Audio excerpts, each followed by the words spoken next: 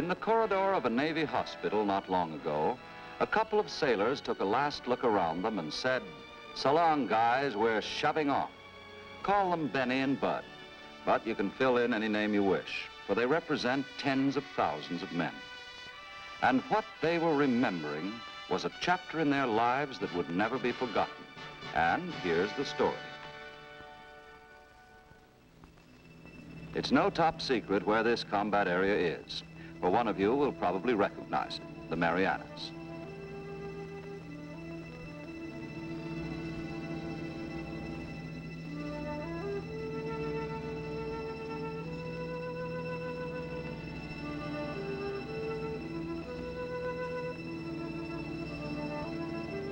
The road that you came over might have been better or it might have been worse. In any case, the road to a field hospital is always pretty rugged, as if I'm telling you anything.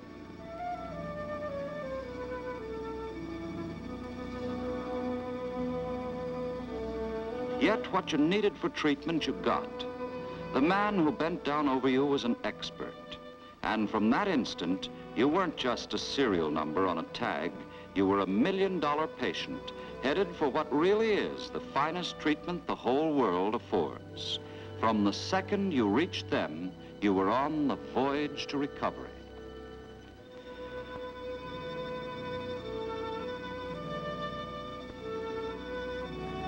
When a man's on his back, he begins to do a lot of thinking. The home, the girl, friends. But a thousand men have a thousand thoughts.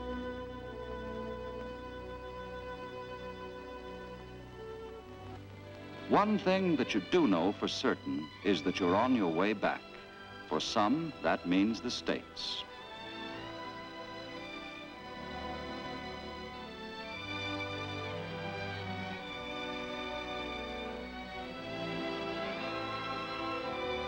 Everywhere now, strong and friendly hands are reaching out to help. The hands of the corpsmen and the doctors and the nurses who staff the hospital ship. Some of you board under your own steam.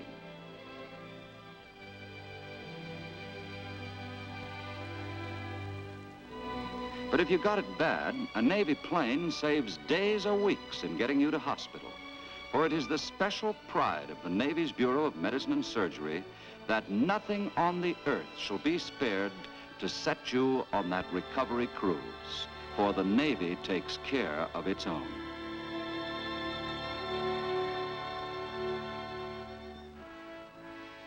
So one day you arrive at a naval hospital. No sensible person loves a hospital, of course, but these are modern down to the last detail. They exist for just one purpose, to return Americans to their shipmates or to civilian life, whole and sound in mind and body. Day after day, the ambulances bring in patients, keeping the hospitals filled with men from every part of the naval services.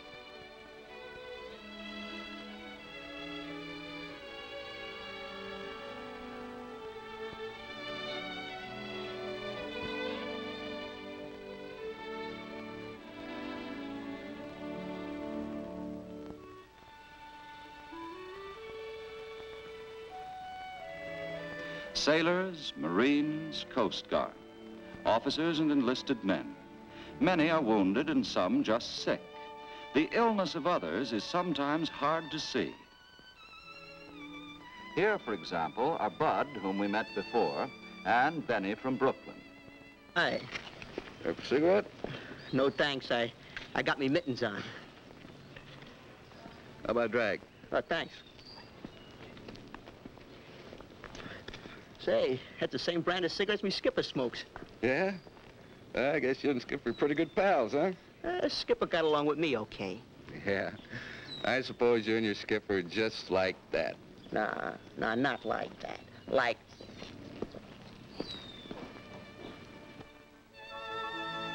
The great rule under which they live, doctors, nurses, corpsmen, and corpswaves, is pinned down in just two words, to help.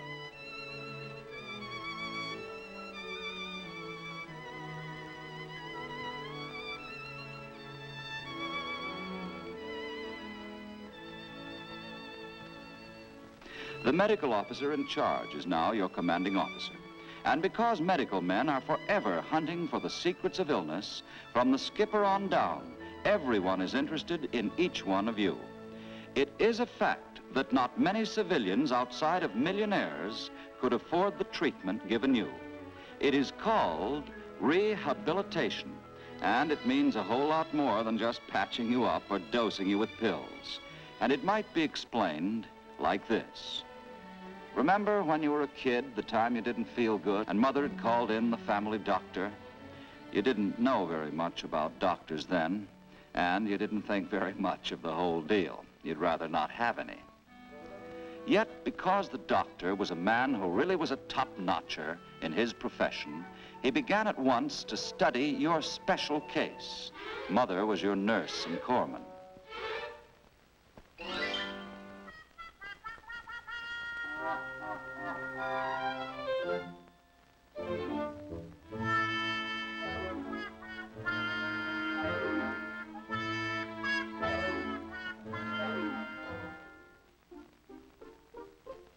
Bad fever, nothing worse. But that didn't stop Mother from worrying, and it didn't make you enjoy being sick either. But her job, she knew, was to take care of you. And your job, you knew, was to get well and get back to your pals at school. As you started to get well, staying in bed became a pain in the neck. So the doctor, knowing this, prescribed modeling clay and books. Sickness is partly in your attitude, so these things were added to the medicine. That's what we now call rehabilitation. When you could get up a little while each day, the doctor recommended exercise. But when he said exercise, he wasn't fooling. She caught you when you stalled, and for your own good, she kept you at it.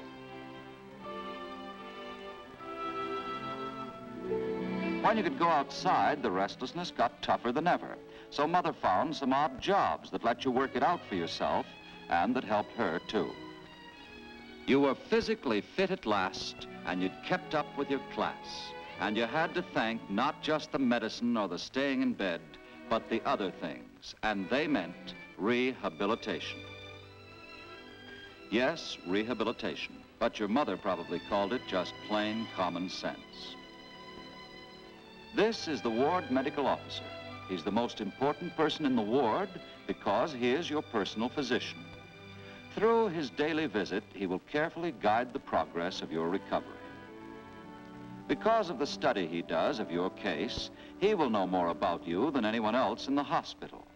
As he is really your doctor, you can confide in him, whether the matter is strictly medical or not. Books to study or a personal matter, he will direct you to the right person to help you. It is part of his duty and his professional standard to see you as an individual and not just as case number so-and-so. Since everybody is different, you are a special case to him, just as you've always been to your family doctor. For he too knows that getting well is a combination of meeting your personal problems as well as your physical health.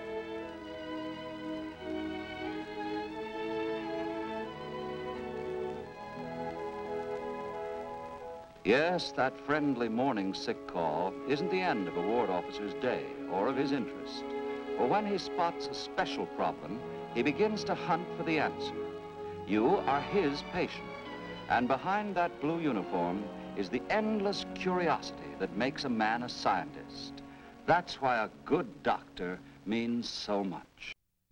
Just as your doctor at home might have the cooperation of other experts, the rehabilitation officer often goes over your special case with the ward medical officers.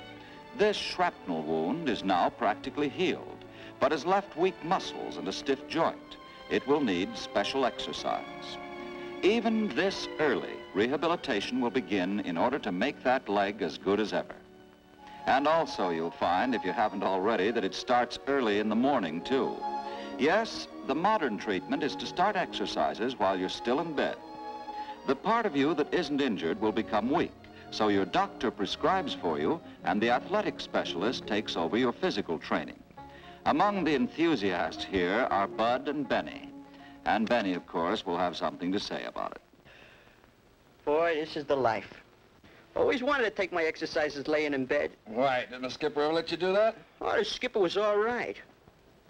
I remember one time me and the skipper... Yeah, I know, I know. You and the skipper were just like that. No, no, wise guy, not like that, like...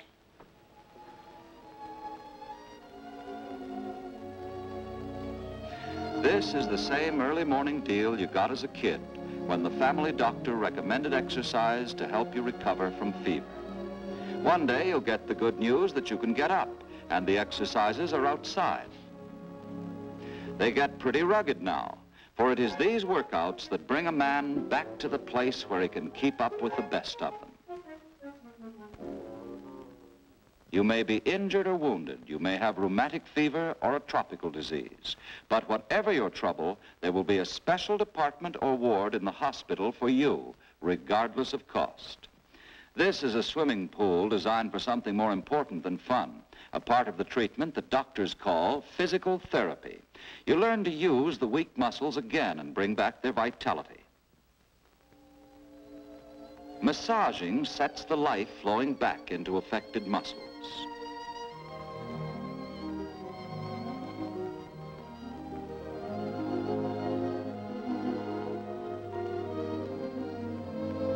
Massage, light, heat, and water.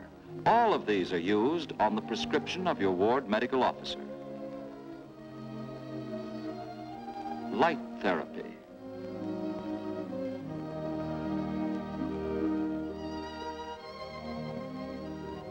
Diathermy.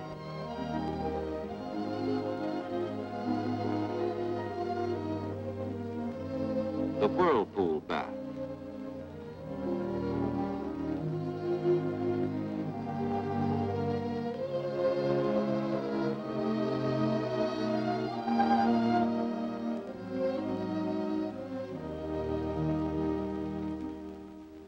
This is the Hubbard tank for another kind of water treatment.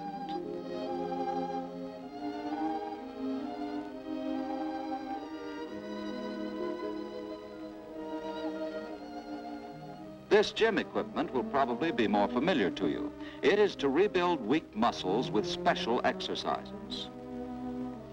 As you see, much of this equipment resembles familiar things like bicycles and things that we associate with having a good time. But now they bring us something that means a great deal more. They bring us a good time with a healthy body in the future years to come.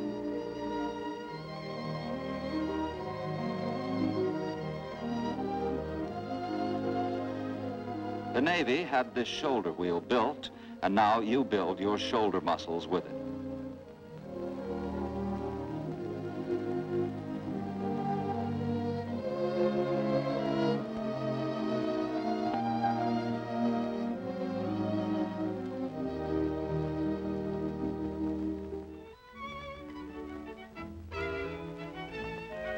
Device is called a finger ladder, where you stretch the arm and shoulder muscles to help restore control to your arm and fingers.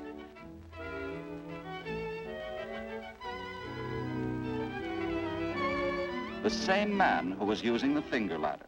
He stayed with it so faithfully that he now can tie flies, which is very fancy work indeed if you've ever tried it.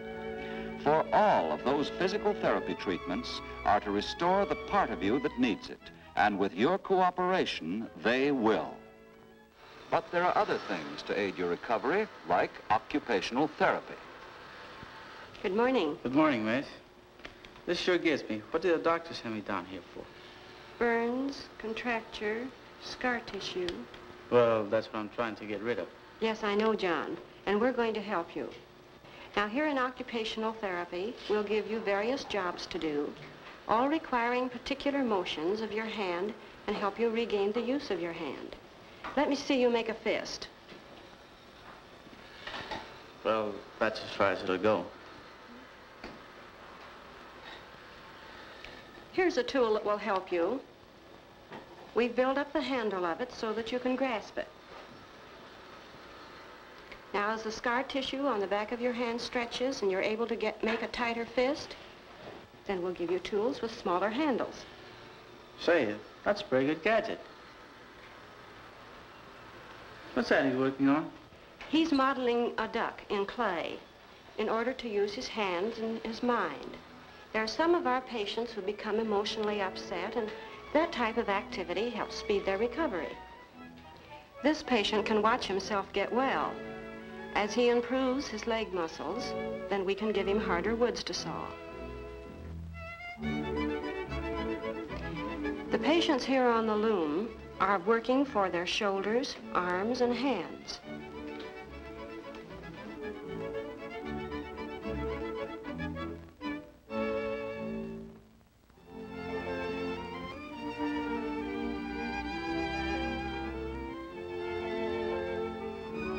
Start you out on lightweight metal first. You could also do some of this work with a large-handled file. And one of the men has made a plastic cast for a patient with a broken shoulder. The patients working in this shop are learning to do many things in cabinet making and carpentry.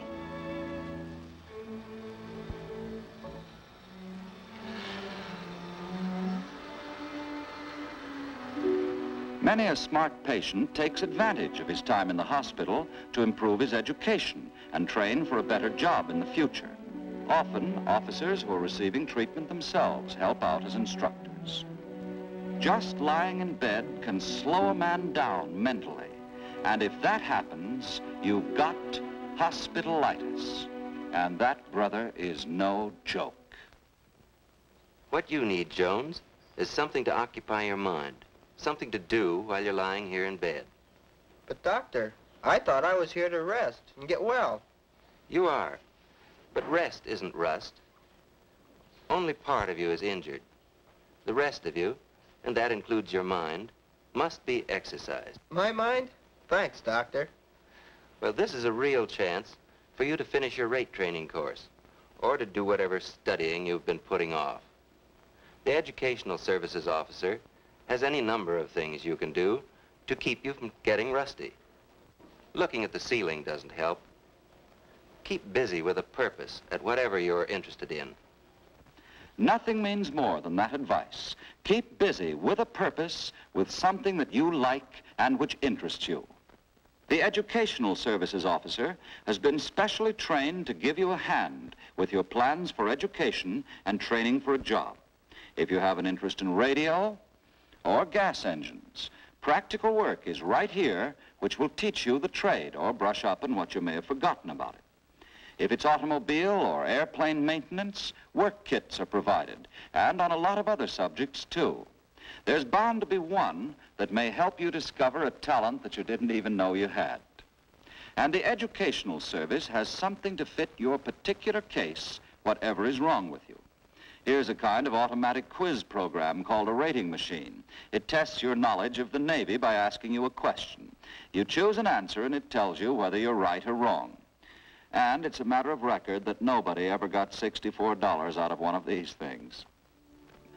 Through the Armed Forces Institute, there are actually 6,877 correspondence courses. If you began one in some other part of the world, this is a chance to go on or start with a new one.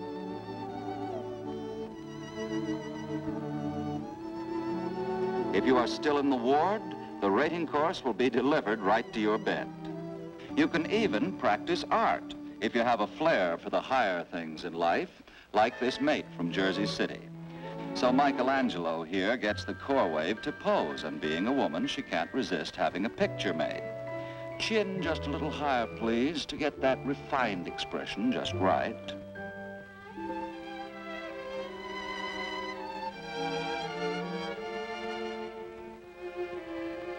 And being a woman, she also demands to see if he got the eyelashes exactly as they should be. So our modest artist obliges with a sample of his work. Ah, the guy's no genius. He's a seagoing wolf. Seriously, since high schools and colleges often give credit for work done in hospitals, this may be your chance to pick up that diploma or learn a trade.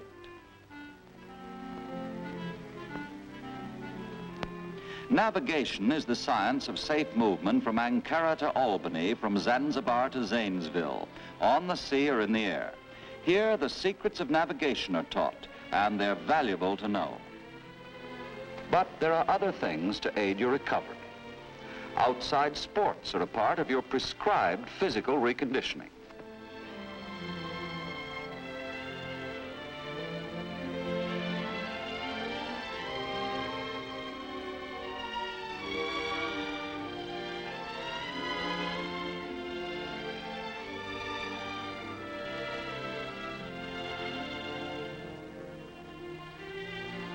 Rehabilitation is much more than medicine and exercise and study.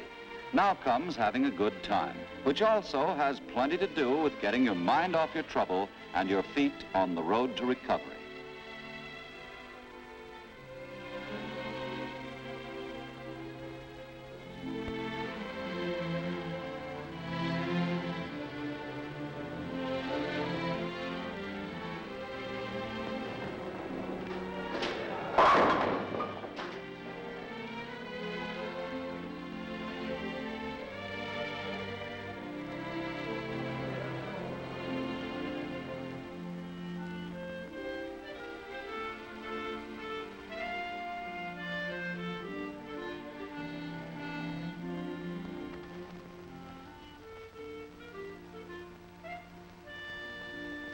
It's human nature to practically knock yourself out at a game, but mention work, and that's different. Chief, Chief, I'm Shaw from D6. Dr. Swanson has you down for light outside detail. Chief, I'm a patient here. Me work? What's the matter with work? We're not against it here. Dr. Swanson sent you down here because you need some light outside work. Help you get your sea legs. You keep your ship in shape, don't you, when you're aboard her? Yes. And this is your ship right now. That's right. The doctor wants you to limber up that shoulder. I think a little window washing will help that. Okay, Chief, but it still work. Shaw, report the inside master-at-arms' office. Yes, sir. This chore was specially picked because Bud will use a rotary movement of the arm. This is rehabilitation that helps him and incidentally helps the windows. Outside work, too, is a sign for far better reasons than just to keep the hospital shipshape. It means strength for your arms and for your shoulders. It means new zest in every part of the body. And husky work rebuilds the endurance that was one of the things that helped you to recover. Endurance so that a man can shoulder his own sea bag when he returns to duty. The Navy doesn't forget that liberty, too, is a part of getting well. It is up to the doctor to decide when you're well enough for liberty and whether it will be good for you. Bud, with lesser injuries, gets the word.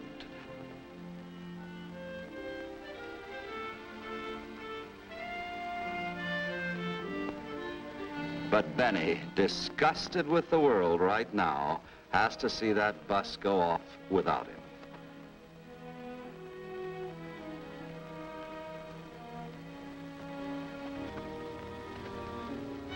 There's time allotted for the things that everybody likes, traveling units, movies, and dances. And for men who like to know what's going on in the world, war orientation. Nobody has to remind you about what we're fighting for, and that just because one part of the war has been taken care of, there are still jobs to do. So you'll want to keep up to date. Many a man with first-hand ideas of his own can come to these meetings to speak up about the war, the ship, or about almost anything. That is what they're for. It's not news to a family man that having the wife and kid visit him helps in getting well. But when a man who's been sick goes out and tries to drink up the town, it suddenly isn't funny at all. Much of his recovery gone. Then, of course, the Navy chapel and the chaplain are there to take the place of your church back home. The chaplain's office is always open to help you with your personal problems. Fred, I got a letter from your folks today.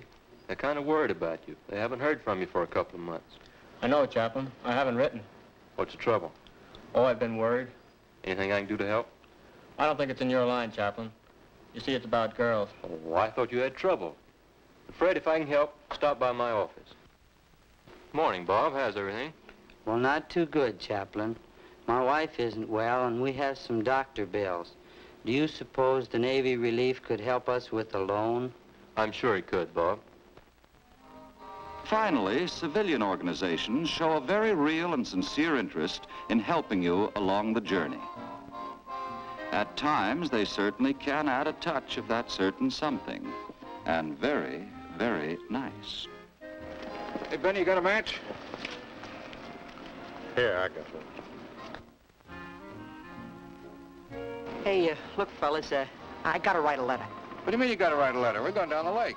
I'll write your letter later. Let's go rolling. Well, look, this is really important. Uh, I'll see you later. Hello, sailor. Say, lady, uh, would you write a letter for me? Well, I, I don't generally do that sort of thing, but sure, I'd be glad to. Thanks. Sit down. Till I get my pen. Now then, what's the name? Uh, Benny. Benny from Brooklyn. Well, Benny from Brooklyn. To whom's it going? Huh? Who's it going to? Oh, oh to Shirley. Uh, Shirley. S-H-I-R-L-E-Y? Yeah, that's right, Shirley. Uh, dear Shirley, this sure is a swell joint. You, uh, you mean it's a swell hospital, don't you? Yeah, I'm sorry. That's right, hospital. It certainly is beautiful here with weather all around you. Weather all around you? Yeah. Yeah, wherever you look, there's, there's weather all around you. Uh, the birds are singing in the trees, and, uh, and the wind is blowing... Uh, the wind is blowing through your whiskers. And the wind is blowing in your whiskers. Oh, you got me, lady, you got me. Say, what's your name? I'm Kay Francis. Kay Francis, the moon picture actress? That's right. Well, could I have your autograph? How about a picture? Oh, thanks.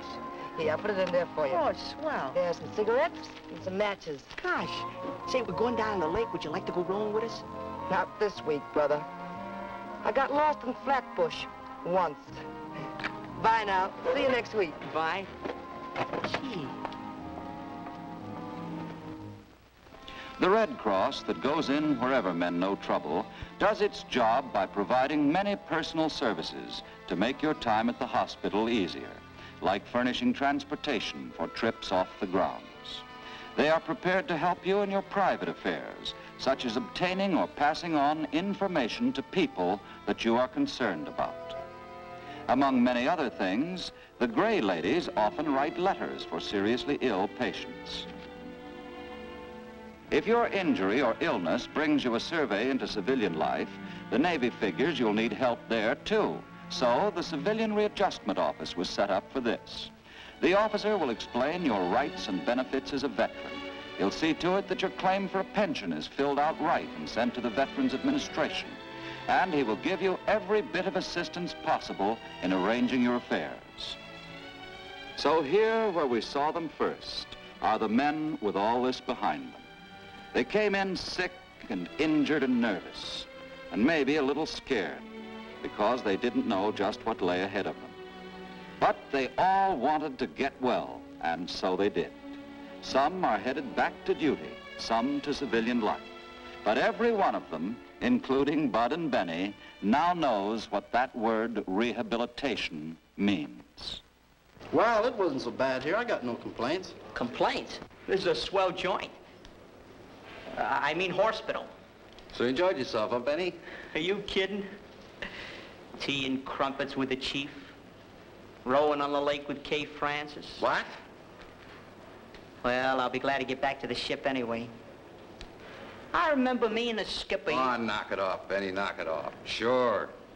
You and the skipper were just like that. No. No, wise guy, not like that. Like